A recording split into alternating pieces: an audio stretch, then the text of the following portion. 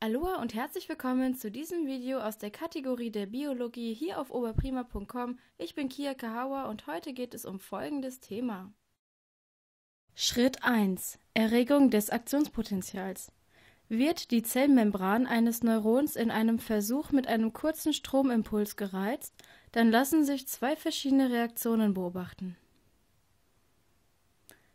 Das Membranpotential kann passiv dem Reizstrom folgen und zum Ruhepotential zurückkehren.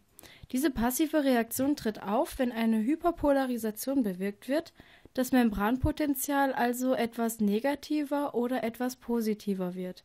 Das geschieht zwischen 10 mV und minus 15 mV Reizstrom.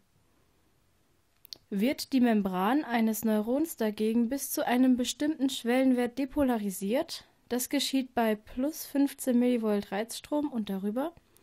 Dann wird aktiv ein elektrisches Signal erzeugt, nämlich das sogenannte Aktionspotential, auch Nervenimpuls genannt. Das Ausgangssignal wird verstärkt.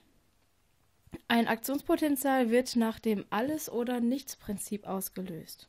So, im nächsten Video geht's weiter mit Schritt 2. Bis hierher aber erstmal Fragen, Lob, Kritik oder Anregungen bitte wie immer in die Kommentare.